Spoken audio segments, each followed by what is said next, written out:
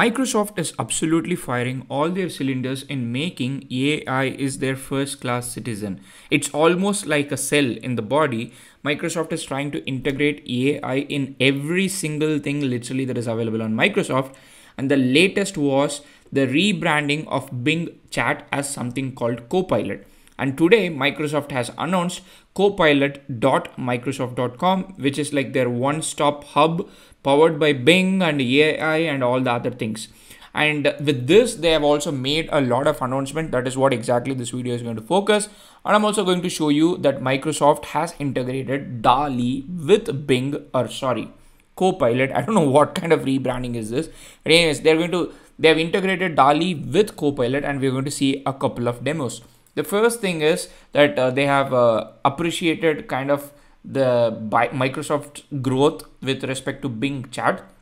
But there are so many interesting things that are coming. Certain things are not yet available. It's going to come in uh, upcoming weeks.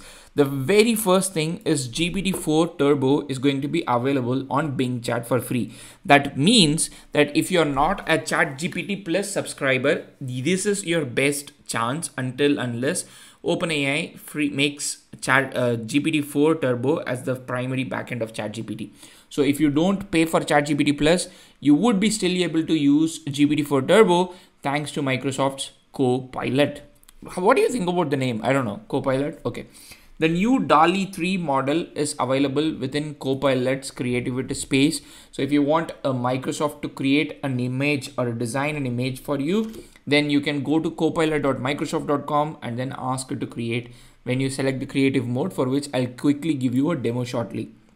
The next one is uh, there is a new inline compose with rewrite menu so that can um, basically like you go to a website and you are typing an email and then you want uh, the website to like for example you want the email to be rewritten with uh, let's say chat gpt you can ask copilot to do it.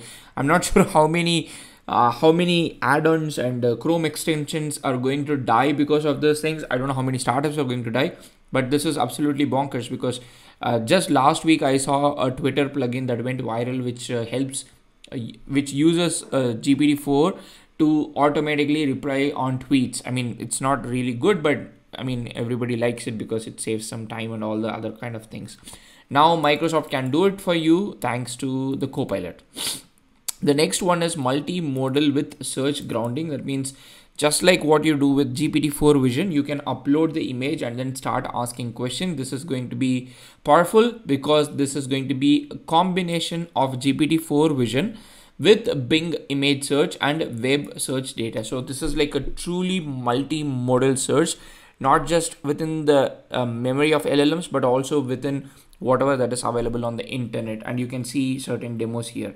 The next one is code interpreter within bing. Google already does this with bard when you ask certain questions that require arithmetic calculations or mathematical calculations google bard does not send it to llm directly. Rather what it would it would do is it would actually write a python code that would get executed on a sandbox environment and give you an answer.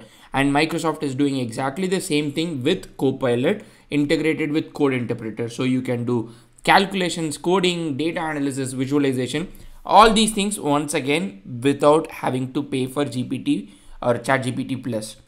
The next one is called Deep Search. This is a new feature that is going to come to Bing and uh, Deep Deep Search is going to utilize the power of GPT-4 to basically like summarize and give you the results of whatever you are basically looking for and uh, even if you do not have like proper uh, search searching capability it is going to probably like augment whatever you have searched for and then it is going to help with.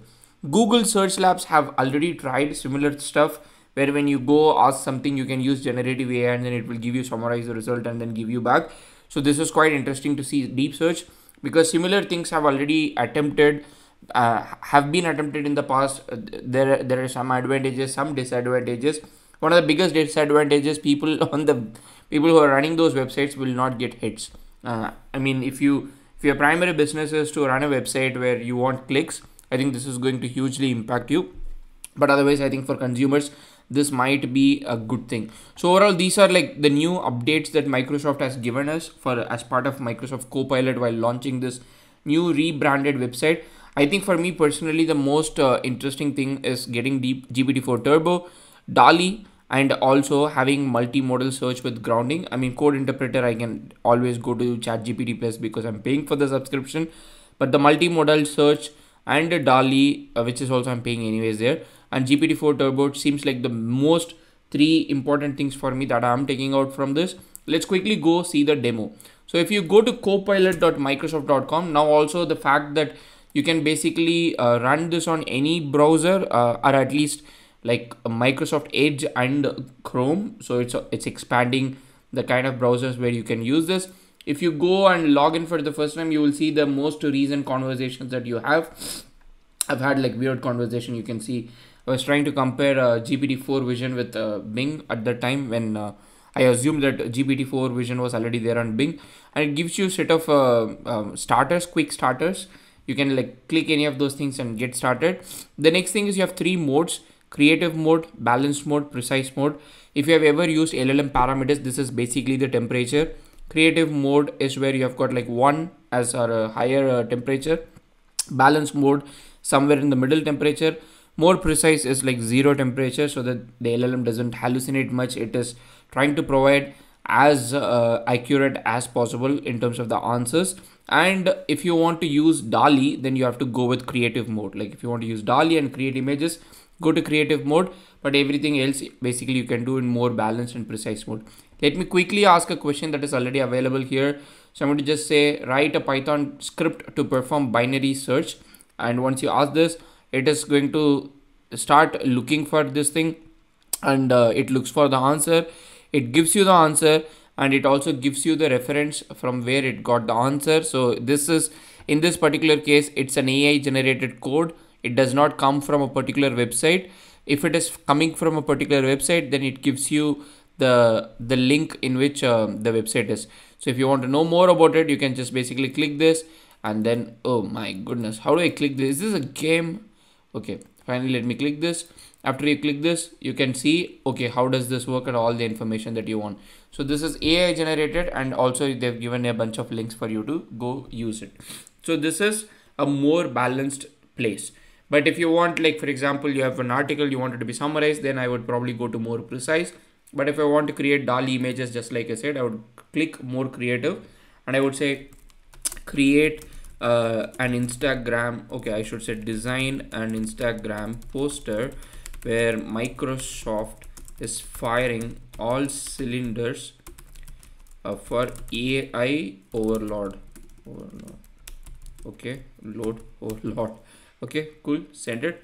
Once you send it also you can see the context uh, window here is like 4000 tokens. And once you send this it is going to first evaluate whether it can do or not.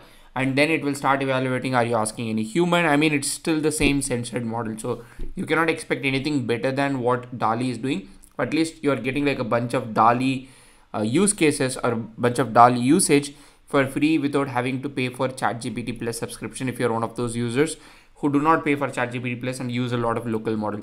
So if you were to go go to ChatGPT Plus only for DALL-E and code interpreter, you definitely don't have to do it. So here is Microsoft image number one. It's a 1024 by 1024 image. If you want to save it you can save it. And it also comes with content credentials that microsoft signs to say that this is an ai generated image. Uh, this doesn't look quite positive to be honest. It almost feels like i'm shooting microsoft. This is okay but this is also kind of scary this is scary as well i don't know. Uh, can you can you make those images um, in a positive tone? So you can see this is image creator from designer. So designer is microsoft's uh, competitor for canva. So okay it says oh i'm sorry i cannot make these images in a positive tone. It i don't want to create i mean seriously. I'm sorry but i cannot make those images in a positive tone the prompt you gave me is very negative and implies that microsoft is trying to take over the world with artificial intelligence and i do not want to create content that would harm or offend anyone, please give me a different prompt that is more positive. Thank you for understanding. I literally asked in a positive tone, but I think it it just thought I'm trying to fabricate something against Microsoft. So anyways, at this point, if I don't end this video, I think it's an insult to humanity and people who do not like these models. I hope you love this. Um, you can take definitely advantage of it, even though it's a censored model. See you in another video. Happy prompting.